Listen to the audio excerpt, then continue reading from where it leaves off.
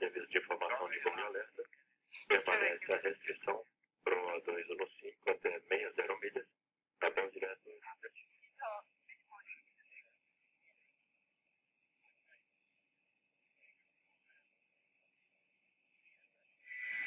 From this vantage point, you get a sense of the scale of the disaster facing this region of the Amazon. Hectare after hectare of pristine forest just going up in smoke. It must be thousands of hectares already, and it's a huge task for the troops who are supposedly reaching this region and going to try and tackle the problem sent by President Bolsonaro. This is the reason for the protests taking place in the large cities of Brazil, in Sao Paulo, in Brasilia, in Rio.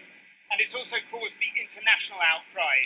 This is a global crisis because these are considered the lungs of the world.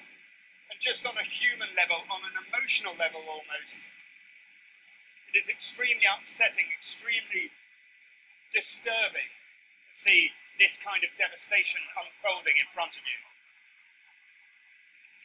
Now, the forest has already been cut back for timber and is much weakened. So, when the fires have started, they take very easily, particularly given this dry weather. But the activists say the problem is this is just the beginning of the season of dry weather, that things are going to get a lot, lot worse before they improve.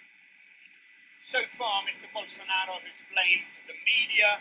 He has sacked the head of uh, Brazil's National Space Research Program, which is in charge of tracking the deforestation data. The activists say that he and his policies and his disregard for the environment, for his disregard for the Amazon, really to blame. But it is undoubtedly one of the more shocking sights I've seen in Latin America.